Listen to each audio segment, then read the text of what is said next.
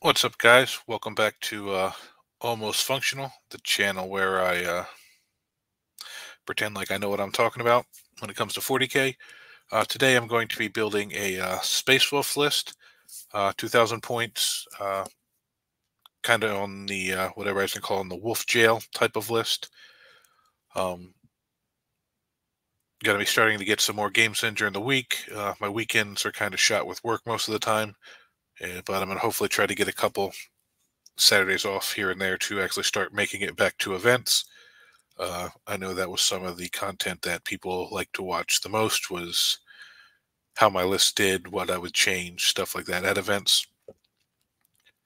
But if you don't mind, go ahead and give the channel a like and subscribe. Uh, it really helps me get content out to people, and uh, seeing the channel grow really gives me motivation to keep doing stuff, knowing that people are actually watching and engaging with it. And I'm not just on here uh, mostly talking to myself.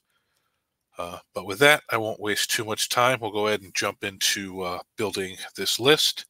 I'm going to be using uh, Battlescribe. Uh, haven't used it in a long time. I normally just use the app on my phone, but the Warhammer app doesn't work too well on the computer. So this is going to be the best way to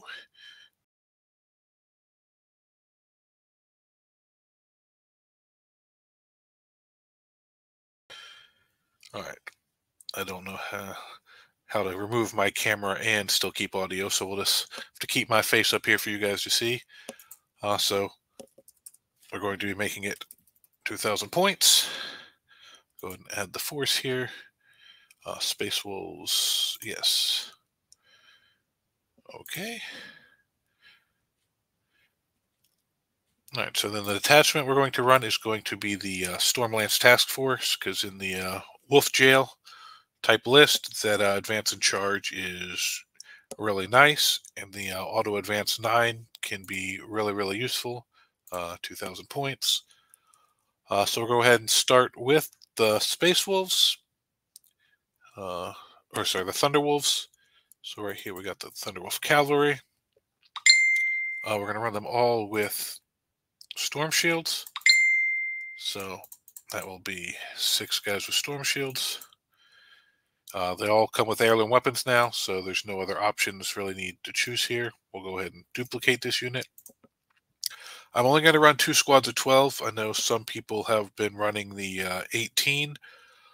Uh, personally, I think that just on most boards like GW layout and stuff, it's just that's too many models. I think they get kind of bogged down, and it just takes away from like other units you can use for scoring and stuff. So we're just going to leave the at two six mans, and then we're going to give uh, some characters to them. So go back up here. We'll go. Uh, where right, we'll our battle leader on Thunderwolf, and then we're also going to go Wolf Lord on Thunderwolf. Wolf Lord, where is he? There he is. All right, so the battle leader, we're going to give him a storm shield. Can I not give him a storm shield? Oh, there it is. Storm shield close combat weapon. And then we will give him a thunderhammer. And then the wolf lord, I believe let's go ahead and give him the same layout. I really like thunderhammers and storm shields. All right, and then we're actually going to duplicate them so that we can put them in each squad because wolf lords and battle leaders can join the same units. So that just gives us a really nice, fast punch unit to uh, run out and harass the enemy, which is what their main goal is in this list. Uh, so the next thing I want to add, which I add to pretty much all my Space Marine armies is infiltrators. We'll go ahead and give them the uh, gauntlet. Uh, we'll leave them at a five man. And I want to give them the Phobos Librarian so that they uh, can't be shot outside of 12 inches and add that in with the fact that you can't deep strike within 12 inches of them just really makes that a really nice, useful unit for holding your backfield. just sit back there and if you bubble out right, people really have to come get them through the rest of your army. Uh, so I also want to add some other characters. I pretty much always bring Ragnar. I love Ragnar, and we're going to add Logan. Uh, we'll do Foot Logan because his ability for the uh, full rerolls and rerolls, full rerolls in combat to hit and rerolls of charges for one turn is really, really nice. Uh, I don't want to run them alone, so we'll go ahead and give them some help. We're going to give Blade Guard to Ragnar. Let's see, where's the Blade Guard? All right, we'll go ahead and give him a full six man Blade Guard squad.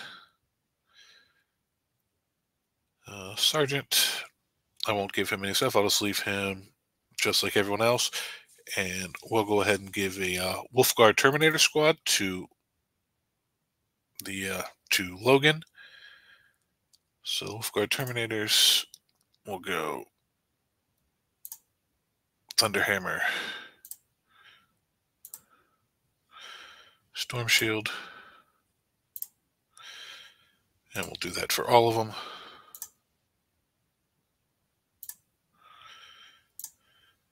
The only downside of the Wolf Guard is you got to do each model individually. All right, Power Fist down, Storm Shield, Thunderhammer. Uh, this just gives a little durability to Logan. I've seen people run him on foot alone. I really don't like doing that. I don't. I feel like this gives him, they can drop somewhere and still have a little bit of a punch, especially with the advance and charge in this list. It really helps with the slow speed of the Terminators. And let's see, Wolfguard Terminators. All right, we'll do one with a heavy weapon. So we'll give him Cyclone Missile Launcher. And then we'll give him the Thunder Hammer. And then up here, where's the other one? So we'll drop this one so we stay at a five man. All right, so one, two, three, four, five Terminators. All right, so that's our characters. So we've got six characters, no, seven characters. Got one, two, three, four, five, and then two names, six, seven. Uh, so these two both in a unit. They have their unit. They have their unit. So now that puts us at 1,260 points. So that's most of our damage dealing, hard hitting threats. So now we need to start adding some stuff to uh, do more mission stuff. I am really liking Outriders right now. Uh, and with this being a mounted you get a lot of buffs are mounted in the Stormlance, so we'll go ahead and add two units of these in here. Uh, their Sergeant doesn't really have much options. Nope. So they're just fast. They auto advance six, so you really don't have to use the strat on them if you don't want to. Uh, they also can help with the move blocking because they have big bases. They can go do a bunch of uh, what do you call it actions. Um, now this list will have to change when Pariah Nexus dropped because there's no battle line in it. So I'll probably do something once I the uh, Pariah Nexus cards and read through them, and I'll do a review on that, and then I'll come back and either start from scratch or edit this list to what I think will play well in that. This is just for some Leviathan games I have going on this week. Uh, so then, so now we've got um, 395 points. So let's add some little stuff. We'll add a uh, scout spot in here. Take the heavy weapon and the sniper rifle as well. So then we'll drop two of these guys. All right, so where there they are. All right, so the heavy weapon, we'll go with missile launcher. And then the sergeant, we'll give him a chainsword. All right, and I also want to add in a. Where is it? I'm back down to mounted. Invader ATV, just because staying on the mounted as much as possible. I'll leave it with the onslaught because I have a lot of hard hitting in here, I believe. So that gives me just a little bit, uh, or just mass shooting because I think orcs and Genestealer Cult, all that coming out is going to be really big. Uh, so that leaves us 260 points. What do we want to do with 260 points?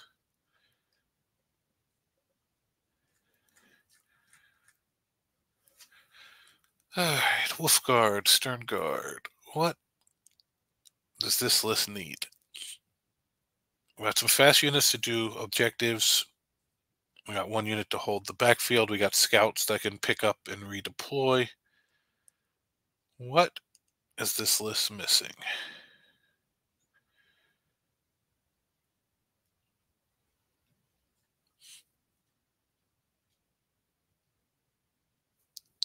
For 260 points. Oh, I know exactly what it is. Inceptors. Inceptors are awesome at playing the missions. We'll give them a Plasma Exterminator. Uh, we'll leave them at three mans because they just drop in and within three inches and can do actions and mission stuff, and they actually shoot pretty decent with the uh, plasma. So we'll run two squads of them, and that'll put us at exactly 2,000 points. So this list is very fast. It has some durable units with good toughness that hit fairly hard with a decent amount of attacks. It's got some little trash units to score objectives and do actions. Uh, the infiltrators are great at bubbling out, protecting your backfield. Uh, the scouts can drop back there if we need them, pick up, go other places. The inceptors can drop really anywhere we want. Uh, so that gives us some good reserves. Uh, the terminators you can also drop in reserve if you want, and Logan bring them in with rapid ingress or something. Um, so I really like the look of this list. I like to me it feels good. I like combat, so I've got a bunch of fast combat units. Uh, the Blade Guard and Terminators aren't as fast, but the Terminators can deep strike, and with advance and charge, this really helps with picking up their speed. Uh, but I also like that they're infantry, so that they can go through walls, whereas a lot of the other lists, like the Thunderwolves and the bikes and stuff, can't. So it's nice to have a couple decently hitting units that can do that stuff, which can really help for taking the center objectives when your Thunderwolves or bikes have to go around. They can just kind of go through. You can stage them on the side of the walls and charge through instead of having to go around. Um, so I really like this. I got a game scheduled for next Wednesday. Uh, we'll see how this list plays, and I will let you guys know. Uh, and coming up soon, I will be doing some uh, reviews of the Chaos Book, the Genestealer Cult and Sisters once they drop, the Pariah Nexus. Uh, we'll also be reviewing the Pariah Nexus on the Onslaught Gaming 40K channel, I believe, with uh, multiple people. But uh, these will just be the ones on my channel, really just be my personal takes, more just what I think. Probably a little shorter shows than uh, what'll be on there, but they really will probably get more in depth and have more opinions on the OCS. I mean, if they disagree with me, they're probably wrong, honestly. But no, but seriously, uh, we have a lot of content coming up. I definitely am getting back to a lot more posting, probably multiple times per week, like I used to. Now that I've got some things figured out with work and stuff in my life, and uh, yeah, so I know a lot of people follow this channel for Space Wolves, but I'm definitely going to be having other content out there for everybody. Uh, so I want to thank you guys for watching. And once again, if you haven't, please like, please subscribe. We're going to have a lot more content coming out, and uh, we'll see you next time.